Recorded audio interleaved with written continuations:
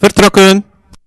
En we koersen. Calin Dajon dus met grote achterstand vertrokken. In tegenstelling tot First Express uh, aan de binnenzijde IKT. En ze nemen drie lengte voorsprong op Havana Duve. Aan de binnenkant Dreamer Mind. Utopie Dumouti die ligt dan vijfde met Hector Du Logis op de zesde plek. En Angel die ligt dan zevende. En Calin Dajon die kan dan proberen om het gaatje tot bij het peloton dicht te rijden. First Express is de koploper. First Express de locomotief van uh, Treintje. En IKT die nestelt zich uh, in het spoor van Rick de Puit. En dan zien we Havana Doef in het tweede spoor naar voren schuiven.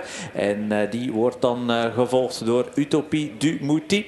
Die ligt momenteel in vierde stelling. Vijfde aan de binnenkant Dreamer Mind. En achter Dreamer Mind hebben we dan uh, Hector Dulogis met Angel op de zevende plek. Een achttal lengte los van het peloton hebben we dan nog altijd Calin Dajon richting de linkerbocht. Onder het leiderschap van First Express. Maar die drukt wat het tempo. Controleert de koers weliswaar. Met de lengte voorsprong op Havana Douvem. Utopie Dumouti aan de buitenzijde. Icarte ligt ingesloten aan de binnenkant. Net zoals Dreamer Mind.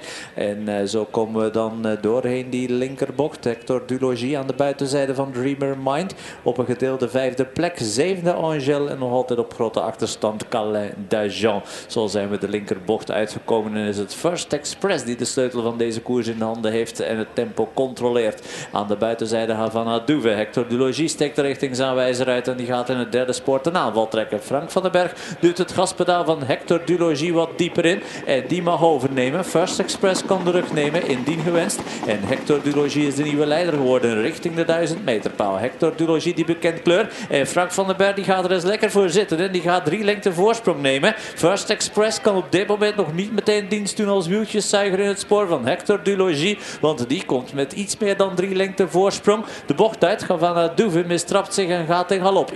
Nog altijd in de rug van First Express. En de drie favorieten in de betting liggen ook op de eerste drie plaatsen. Vijf galop, vijf. De voorsprong op First Express. Die eigenlijk niet anders kan dan het gaatje dichtrijden.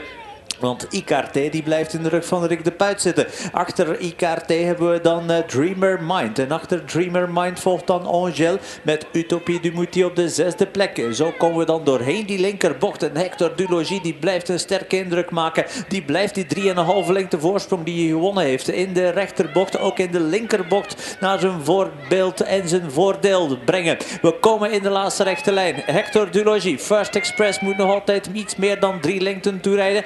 IKT die ruikt de tweede plek en die plaatst een aanval. Maar Hector Dulogis die verzwakt niet. Hector Dulogis die blijft die drie lengte voorsprong in handen houden. Daar gaat IKT richting de tweede plek. Maar de winnaar is buitenschot. En Hector Dulogis die heeft een fantastische laatste ronde neergezet. En smeert IKT 2,5 lengte aan. En IKT die nogthans een vrij wederoptreden liep. En dus tweede wordt voor First Express. Utopie Dumouti aan de binnenzijde en Angel buitenom.